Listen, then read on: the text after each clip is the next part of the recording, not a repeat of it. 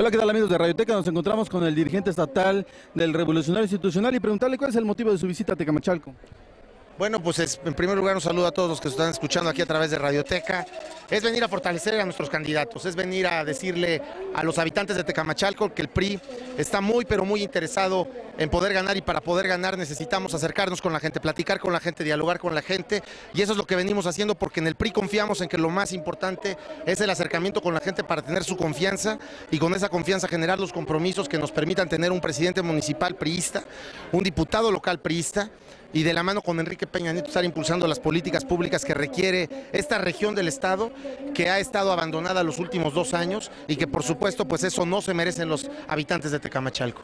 ¿Considera usted que tiene posibilidades de ser presidente municipal el candidato del Revolucionario Institucional? Sin duda tenemos encuestas que así lo marcan, tenemos también pues un respaldo importante de los habitantes aquí en esta Junta Auxiliar, por ejemplo, eh, de San Mateo, en la propia cabecera, y eso pues se ha ganado gracias al trabajo y al esfuerzo de los candidatos, pero sobre todo a la confianza que se está despertando en los habitantes con los candidatos del PRI y al mal gobierno, hay que decirlo, que ha hecho tanto el gobierno del Estado aquí en esta región, prácticamente no ha traído apoyos al campo, no ha traído apoyos de desarrollo social y eso la gente se da cuenta. Y por supuesto también el presidente municipal que ha hecho un pésimo papel y por eso estoy seguro que la gente quiere un cambio y ese cambio lo representa Andrés Valentín y Mauricio Hidalgo. Muchos candidatos del distrito han manejado que existe una elección de Estado. ¿Considera usted que es esto cierto?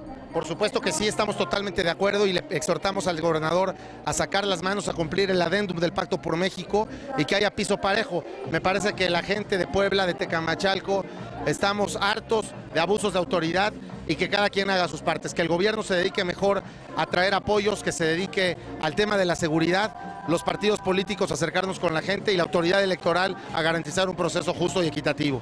¿Qué le diría a toda la gente del distrito? pues que confíen en la propuesta que traen nuestros candidatos. Es una propuesta a favor de los temas de la gente, a favor del desarrollo social, a favor del agua, que sabemos que es un gran tema eh, pues de problema aquí en el municipio y sobre todo pues que nos permitan seguir llevando la propuesta. Recordar que el PRI es el partido de la legalidad, es el partido de las propuestas, es el partido de la transparencia y así vamos a seguir trabajando. Le agradezco mucho por la entrevista.